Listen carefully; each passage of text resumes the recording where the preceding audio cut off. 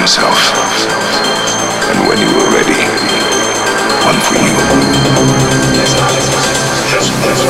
for you.